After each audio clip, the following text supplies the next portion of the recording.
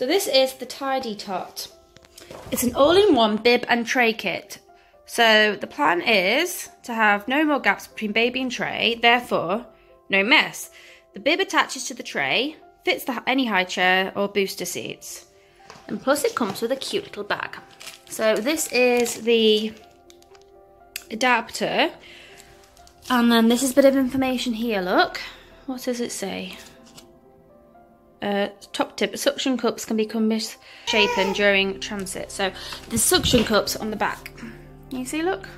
And we're just going to try it now.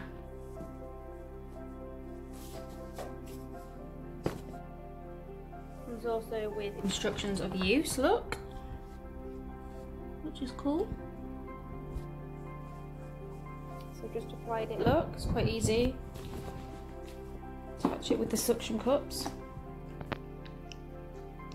So I've attached the um, bib to the tray by this velcro here. And then just beginning to attach her up at the back. So it should be all secure for her to eat. So all necessary information like I said is on the back. And the idea obviously is to have no mess. And so far so good just show you from behind. It literally just slips on. Winnie! And she's ignoring me now, she's eating. Let's not forget the cute tote bag. Woo! And she's just poured it out. And guess what? It's not going down any of the cracks. So what we have here is obviously the Tidy Tot bib and tray set.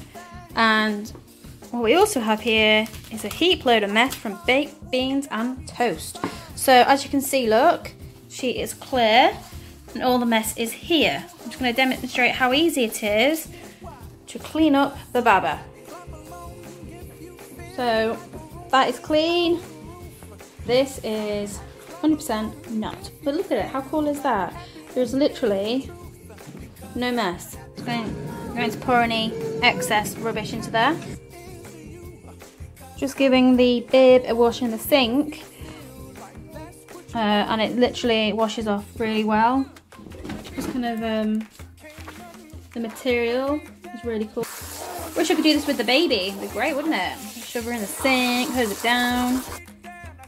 Ta-da! Super squeaky clean.